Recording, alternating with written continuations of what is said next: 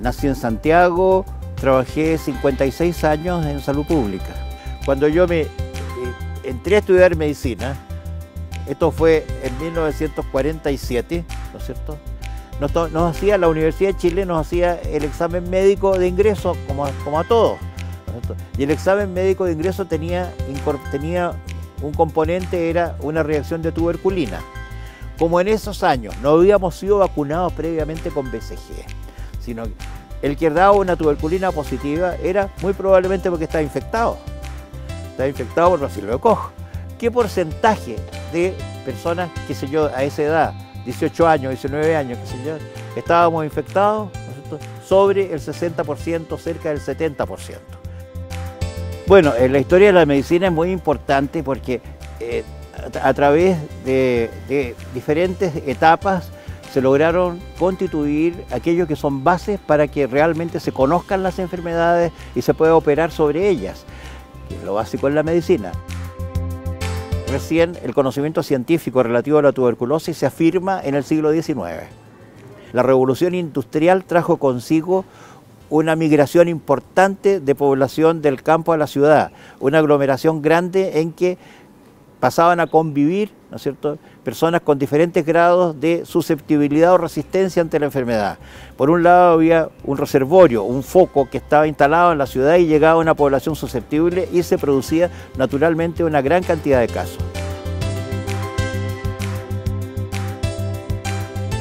La tuberculosis aparece ya en Chile en un fenómeno similar al que pasó en Europa, pero mucho más tardíamente. Llega naturalmente con, los españoles, sabemos, no sabemos si existía antes, pero llega con ellos y con ellos es que se produce la conjunción de un reservorio, eh, fuentes de infección con una población susceptible. Durante el siglo XIX es que realmente se contó con los elementos científicos para poder tener un real diagnóstico de tuberculosis. Estos fueron dados fundamentalmente por el método anatomoclínico orientado sobre todo por Laennec, un médico que trataba de establecer la relación que había entre un cuadro patológico que estaba viendo, cierto? con signos físicos, más que con la sintomatología que relataba el enfermo.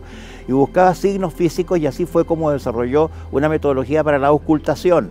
Así que fue, digamos, el origen del estetoscopio. Este sería el método anátomo clínico. Después viene la componente etiológica, etiopatogénica, etiológica, por lo tanto, detectar qué era la causa, cuál era la causa necesaria para producir un determinado cuadro patológico y se adjudicó entonces a un determinado tipo de germen, en este caso fue el descubrimiento del bacilo de Koch. Entonces se contaba, por lo tanto, con los elementos necesarios para que se pudiera establecer un diagnóstico ya de una base científica.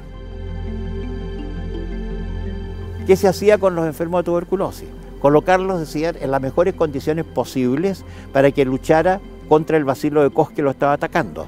Y estas mejores condiciones posibles eran un lugar en que pudiera reposar, en que tuviera buena alimentación y en que tuviera un buen aire. Chile cuenta con información de mortalidad regular, anual, año por año, desde 1903 en adelante. La tuberculosis en Chile presentó durante toda la toda la primera mitad del siglo XX cifras muy altas que estuvieron entre 250 y 300 por 100.000. Lo mantuvo durante toda la primera mitad y en un periodo representó el 8% de la mortalidad general al comienzo, a las alturas de 1910-20 y en 1940 representaba el 13%, es decir, aumentaba su peso relativo en medio de todo esto hubo algunos reconocimientos muy especiales. Por ejemplo, es muy importante el que hizo Salvador Allende en su libro eh, sobre la, medicina social en Chile, publicado en 1939. Allí él hablaba de que la tuberculosis era una enfermedad social y planteaba la estricta relación que había entre las condiciones de vida y la tuberculosis. La gran parte de la población pobres de las, de las zonas urbanas vivían conventillos. Vivían conventillos que era la condición más insalubre y de, y hacinamiento más favorable a la propagación de la tuberculosis y otras enfermedades. Aparte del conventillo viene una renovación en esto, un cambio. La población callampa, que vino sobre todo a finales de, de la década del 40 y de la década del 50, en que nuevamente habían condiciones muy favorables para el desarrollo de la tuberculosis.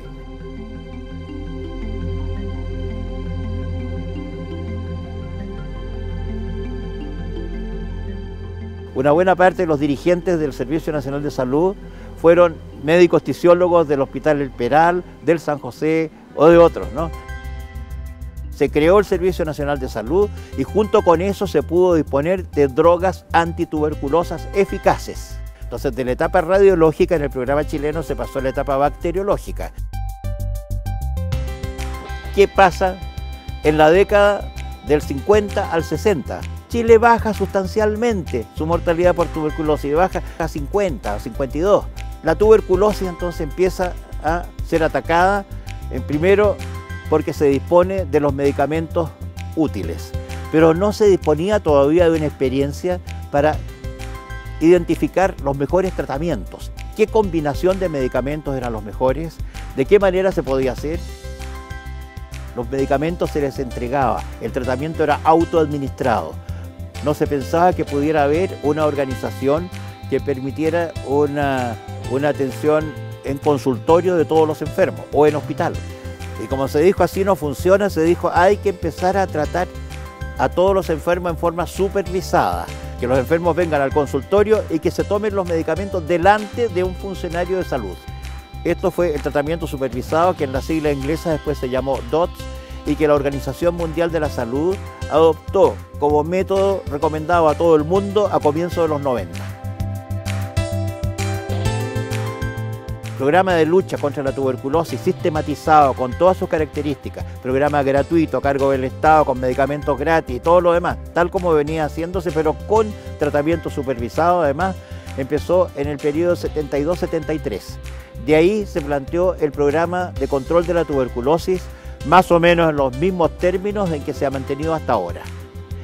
Y esto trajo lo siguiente, cuando un país, aunque sea subdesarrollado, cuenta con un elemento de intervención eficaz para tratar una enfermedad y lo pone a disposición de toda la población gratuitamente, simplemente porque es indispensable que lo haga como política de gobierno.